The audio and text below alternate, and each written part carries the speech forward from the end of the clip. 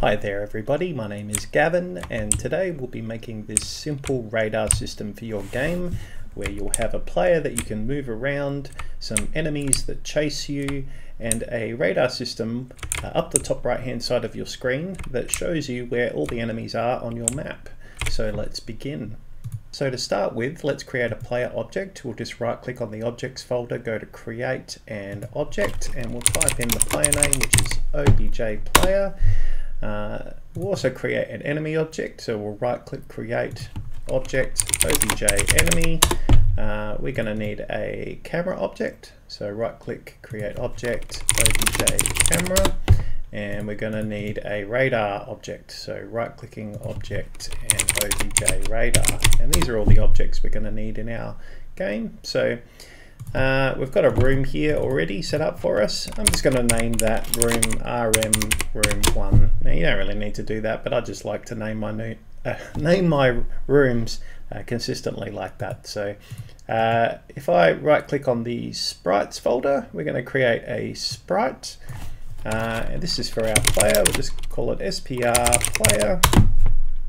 Uh, and we're going to edit that sprite that we've just created there. And we're going to make that sprite green. Um, it's just a simple little block, basically uh, a green block for our sprite there, for our character. Uh, if I right click and create a second sprite, uh, this is going to be for the enemy, um, and we'll just edit that and I'll make that one red. So quite simple stuff.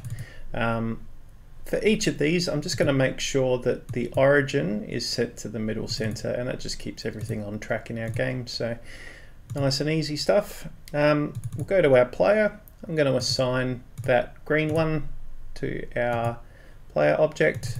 I'm going to go to our enemy. We're going to assign the red one to our enemy object. Uh, we'll go to the room. Um, I'm going to drag our player in.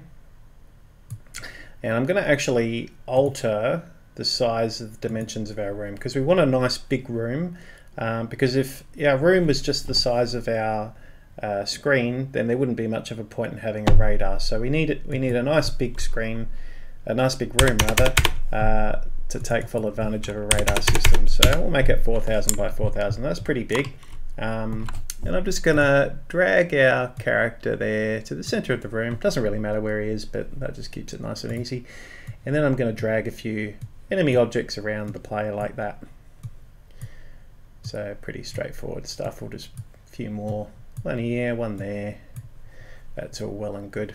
So now if I run the game at the moment, uh, let's see, we've got a few enemies that aren't doing much and a, and a dot in the middle, which is you.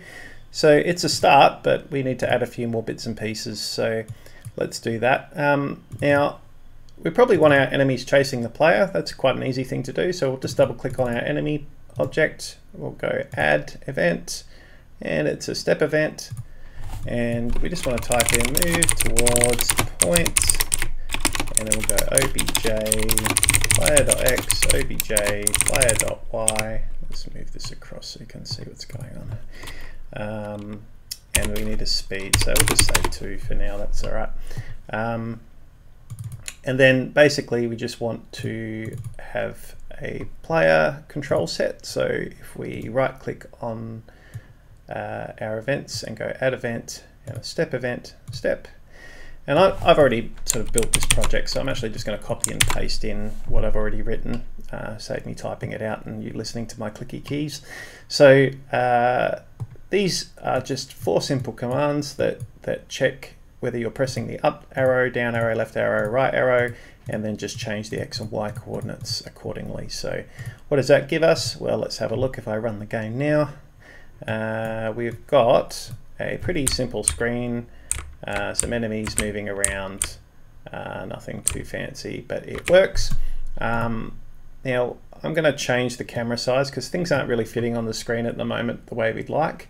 Um, and for the purposes of this video, I'll keep the resolution pretty small, but you can make it whatever resolution you like for your game. So for that, we just want to go to the room uh, here and we're going to drop this down under viewports and cameras and enable viewports. And we're going to go to viewport 0 which is the first uh, and then we're just going to type in uh, 1280 by 720 which is 720p so 1280 720 um, let's make sure that's actually yeah that is 720p um, yeah and so now if I run the game uh, we'll have what's going on here did that work an enormous screen. Ah, I have to click visible. There we go. That'll help us out. So now we've got a reasonably sized screen, but we don't see what's going on because we need a camera to be centered on the player. So if we go to the camera object and um, uh, we just go to the create event, we're going to add a create event and we'll just, I'm going to just copy in and paste in again some stuff I've written earlier. So, so what is this? This is just grabbing the, the width of our GUI layer. And it's important to understand there's a difference between the, the width of the room and the width of the window that we're working in, which is the GUI layer uh, for the purposes of, the, of this tutorial. So let's uh, declare those. Uh, so we've got a display width, display height. We need to add a step event. So I'm going to add that in there. And in the step event, we're just doing quite a simple thing here. Uh, we're just basically saying, right, uh, let's set the camera position. And what are we setting it to? We're setting it to the um, position of our player. I run the game now.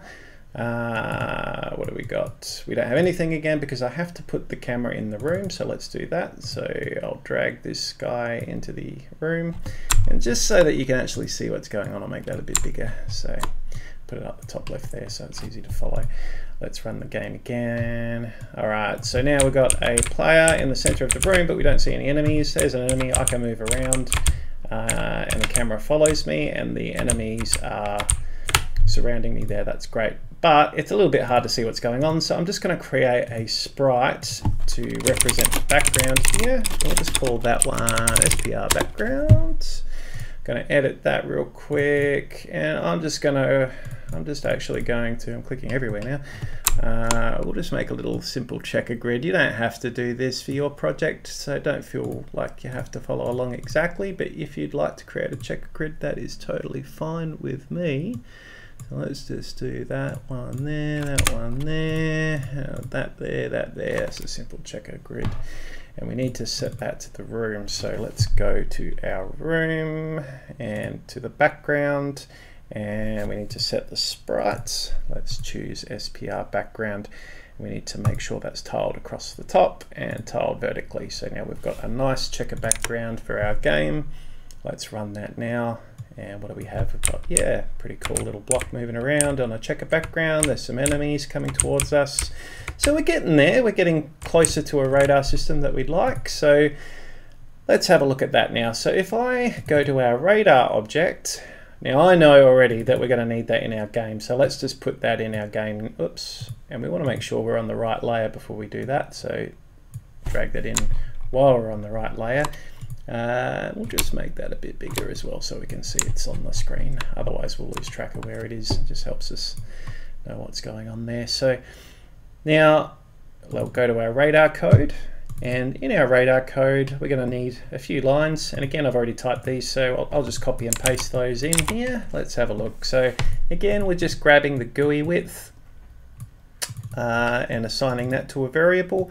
And we're grabbing a GUI height and we're assigning that to a variable as well. And then we're saying, okay, well, we want the position, we want to set the position of where the radar is on the screen. Well, where's that going to be? Well, I want it to be 85% across the screen uh, and 25% down from the screen. So I just times it by 0.85 and that's 85% and 0.25 which is 25%. So that'll give us something that's to the top right hand side of the screen basically. And you can play around with these numbers, you can see what I mean. But anything between 0 and 1 will give you a, a result within the screen uh, there. And then this here is the sides of our radar that we're going to be using uh, for the top right hand side. So now I'm going to right click, we're going to add a draw GUI uh, event there. And again, I'm just going to copy and paste in some stuff that I wrote earlier. Um, And so what are we doing? So the top part of our code is basically just saying, well, uh, we're redeclaring a lot of the variables that we already have here. And why are we doing that, you might ask? Well, uh, part of the reason we're doing it is because we want to uh, have these in a local scope. And what does that mean? It, it means that uh, for this segment of code, these variables become relevant and only in this segment of code. And it also means that we can pass variables to other objects um, within our code here. So that's kind of important. So you might think, oh, I'll just delete this, you know, it'll be fine. I've got them over here, yeah, no worries. Well, no, nah, that's not going to work. So we really need those there. Oops, I've gone and stuffed all that up. I'll just paste it all back in. There we go. Um, now, underneath that, we've got some uh, drawing events. What is this doing? Well, this is just saying let's have half an alpha. What's half an alpha? That just means 50% transparency, so 0.5. And then we're drawing a, a circle to the top right hand side of the screen because that's where our center origin is based on what we set up here. Um, and uh, it's going to be at the size of our radar. So circle up the top right hand side at 150 radius. So pretty pretty easy stuff and that's going to be a white circle. Then we're going to set it back to full transparency so that everything else we draw is normal. Then we're going to say, right, well, um, uh, what are we doing now? We're going to draw another circle in the middle, and that, that will just represent the player, where the player is on the radar. So now for the good stuff. So we've got this code here, which is with enemy. Now, we're basically, when we do this, we're basically controlling our enemy objects. And from each enemy object on the screen, we're doing this code. Uh, and this code is basically just writing some information uh, to our radar, uh, or drawing some drawing a dot on our radar basically. Um, so anyway, let's have a look here. So we've got, uh, now look, I, this took me probably 15 minutes to sit through and figure out exactly how to do. Um, it's a little bit tricky to step through, but to, to basically give you the gist of it, we're, we're figuring out the X and Y coordinates of our enemy objects and then we're figuring out the relative uh, position uh, to to the GUI layer to the to the to the size of the window um, in relation to our player object uh, and that's what x and y becomes. It basically says what what's the x and y of our enemy object uh, on the top right hand side of the screen uh, where it should be? Um, hopefully that made sense but you you know just step through it. It will make sense if you just read through that. Um, it's a little bit lengthy but it's pretty straightforward. Um, and then we're basically saying right well if it's within the circle uh, if it's within the radius circle on the top right hand side where we want it to be then you can draw these these dots in um, for, to represent each of the enemies on the radar so so there we go now if I run the game uh, let's have a look here da, da, da. all right uh, can move around. Do we see an enemy? Hey, there's some enemies on our radar. So that's all working as expected. Um, you can play around with a lot of the numbers and figures here to get a bigger or smaller radar or reposition the radar. So just for example's sake, and I won't spend too much time here, but if I just want to say I want a great big radar uh, right in the middle of the screen, and goodness knows why anybody would want that, but let's have a go at doing it. Well, hey, there it is. It's right in the middle of the screen. That's working pretty well for us. So that's great. Um, or I could do it, you know, let's say uh, bottom bottom left hand side of the screen and we'll have a we'll have sort of a smaller smaller size radar down there and there it is and I can move around here and, and doesn't work too well because it's pretty tiny but um, yeah it's, it's it does the job doesn't it so that's basically it so all right then well uh, Thanks very much for watching this tutorial. Hope that was useful to you. Uh, if it was, please like and subscribe and leave a comment. And any questions you have, I'll try and see if I can answer them for you. Uh, have a great day, and I'll see you soon. Bye.